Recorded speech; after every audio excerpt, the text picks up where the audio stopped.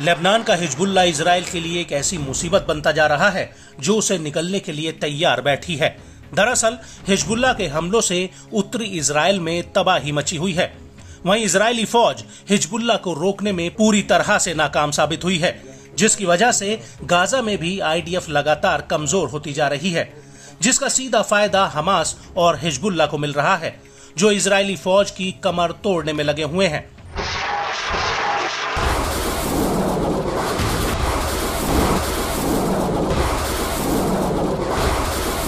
लेकिन इस सब के बीच एक ऐसा खुलासा हुआ है जो बेहद ही चौंकाने वाला है। और अगर पीएम नेतन्याहू ने जल्द ही कुछ नहीं किया तो हिजबुल्ला उनके लिए एक ऐसा नासूर बन जाएगा, जिसका इलाज कर पाना इसराइल के लिए मुश्किल हो जाएगा।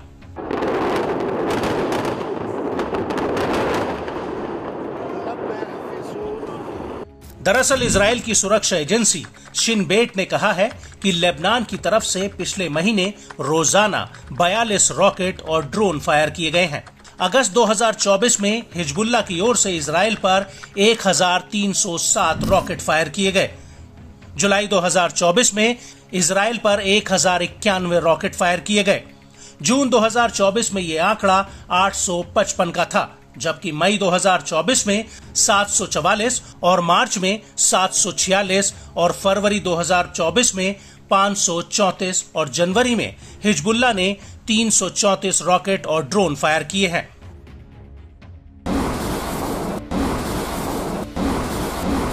वहीं अकेले 25 अगस्त 2024 को हिजबुल्ला ने अपने शीर्ष कमांडर फौज शुक्र की हत्या के प्रतिशोध के पहले चरण के रूप में एक ही ऑपरेशन में इसराइल की ओर लगभग 340 रॉकेट, मिसाइल और ड्रोन दागे थे।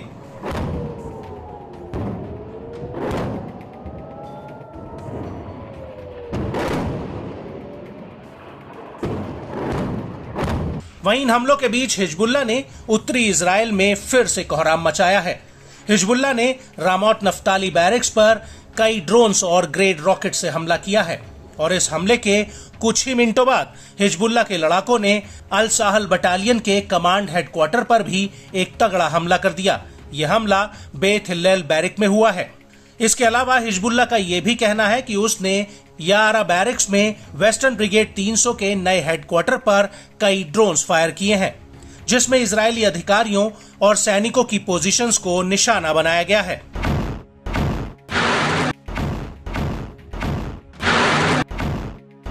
इसके साथ ही अल तायहत हिल इलाके में भी जब इजरायली सैनिक इकट्ठा हो रहे थे तो वहाँ पर हिजबुल्ला ने रॉकेट हमलों की झड़ी लगा दी। और इसके 15 मिनटों के बाद करीब चार बजकर तीस मिनट पर अल मलिकिया मिलिट्री साइट पर हिजबुल्ला ने कई राउंड गोला बारूद दागा